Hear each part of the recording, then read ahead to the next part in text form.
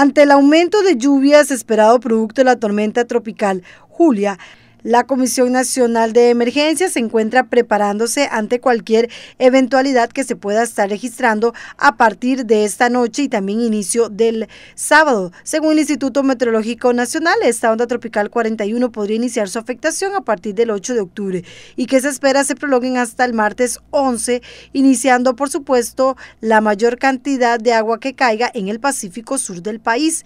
Con la finalidad de dar seguimiento a la tormenta tropical Julia, las instituciones que integran el Centro de Operaciones de Emergencia mantuvimos dos reuniones el día de hoy, una con el Instituto Meteorológico Nacional y una con los comités municipales de emergencia. El objetivo de estas reuniones ha sido revisar las acciones operativas tanto de las instituciones que integran el COE como de los comités municipales de emergencia, como por ejemplo la revisión de las instalaciones que pueden ser utilizadas como posibles albergues. Otra de las acciones es el preposicionamiento de personal en las diferentes regiones, especialmente en aquellas que mantenemos en alerta amarilla, como por ejemplo la zona de Pacífico Sur y la zona norte.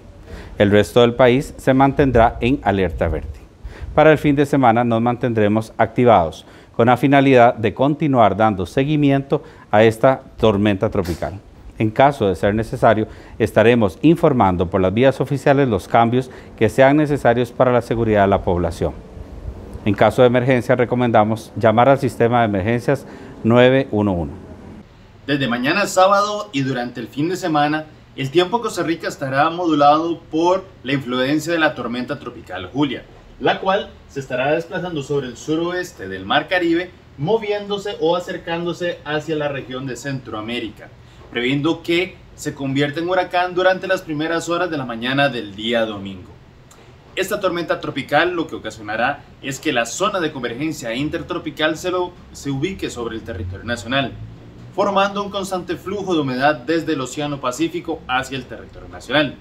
Y esto traerá como consecuencia condiciones o un reforzamiento de las lluvias a lo largo del país, pero principalmente en la vertiente del Pacífico o las regiones del Pacífico, Estamos previendo que los montos más altos de lluvia se estén concentrando en el Pacífico Sur a partir de mañana sábado. Y estas lluvias se irán extendiendo hacia el norte del territorio nacional, primero Pacífico Central y luego Pacífico Sur, conforme la tormenta tropical se vaya acercando hacia territorio nicaragüense.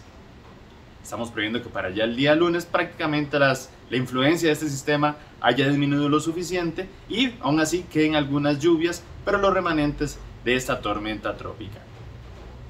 Ante los escenarios que son planteados por los expertos, así como el mapeo de necesidades en los territorios, se mantienen activos los comités municipales de emergencias que se mantienen atentos para tomar acciones preventivas en los diferentes eh, territorios. Además, ya se coordinó para el reabastecimiento de las bodegas municipales para que se cuenten con todos los insumos y equipos necesarios ante cualquier situación que se pueda estar registrando.